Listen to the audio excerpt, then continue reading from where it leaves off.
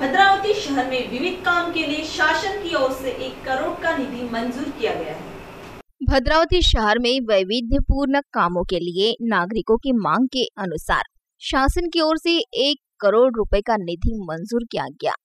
इस निधि से शहर के विविध प्रभाग के 40 खुली जगह पर ओपन जिम का साहित्य लगाया गया है।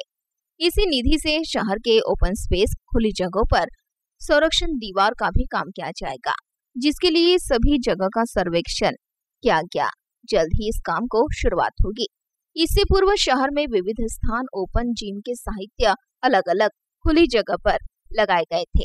कुछ स्थान लगाए गए ओपन जिम के साहित्य देख बचे वार्ड के प्रभाग में यह जिम साहित्य स्थापित किए जाए। इसके लिए शहर के नागरिकों ने नगराध्यक्ष अनिल धानोरकर इनकी ओर मांग की थी। उसी मुताबिक पालिका ने उनकी मांगों की पूर्तता की है। इस ओपन जिम को शहर की युवा महिला वर्ग ने खासा प्रतिसाद दिया है, जिससे नागरिकों को अपने इलाके में व्यायाम के साहित्य उपलब्ध होने से खासकर युवक युवतियों का रुख व्यायाम करने की ओर बढ़ा है। युवाओं के स्वास्थ्य के लिए यह जिम लाभदायी ठहरी है। शहर के युवकों ने बेवजह काम में अपना समय न बिताते व्यायाम कर शरीर सौष्ठव कमाए और अपना स्वास्थ्य उत्तम रखे, ऐसा आह्वान नगराध्यक्ष अनिल धानोरकरने शहर को किया है।